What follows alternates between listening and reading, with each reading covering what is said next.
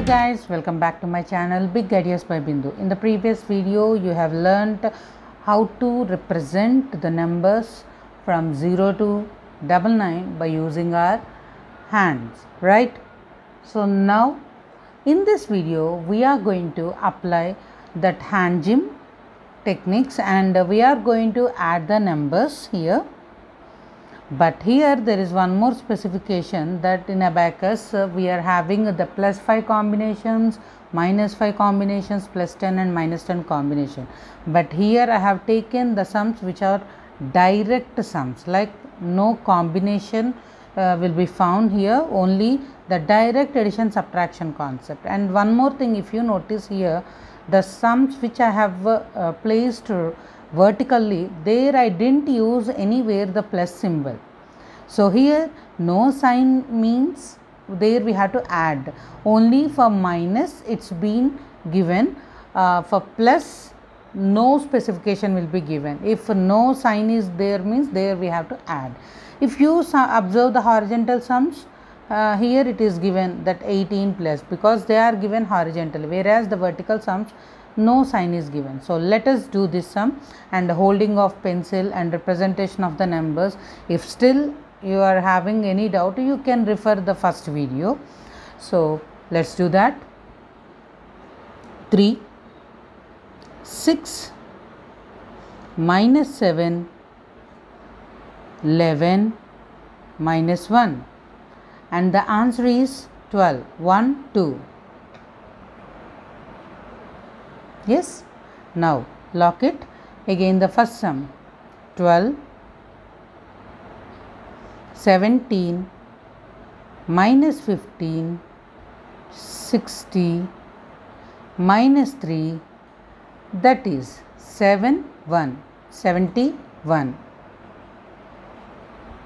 so now here it's uh, 28 minus 15 11 minus 14 23 that is 3 3 33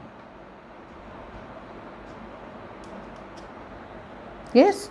And now again make it 0 so 56 21 minus 15 17 minus 4 and here it is 5 so it is 75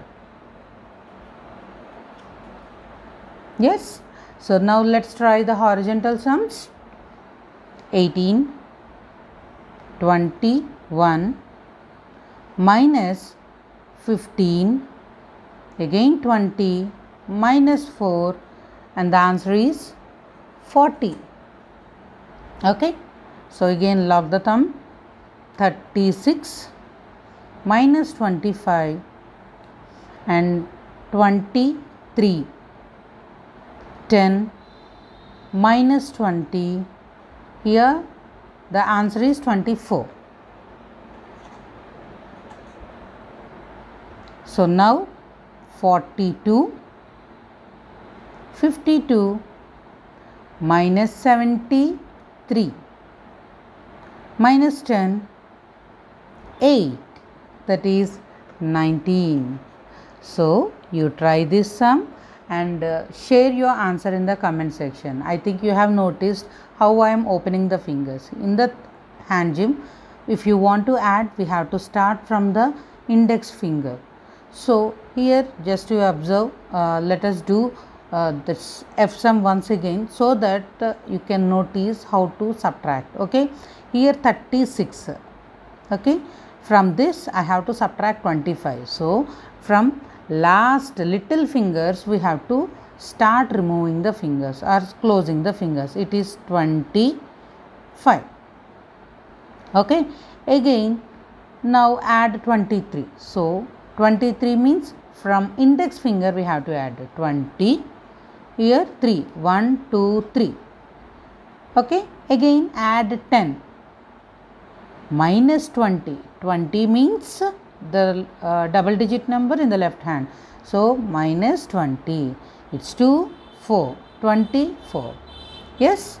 I hope you like the video and don't forget to give all your support. Thank you for watching. Please do like share and subscribe my channel. Thank you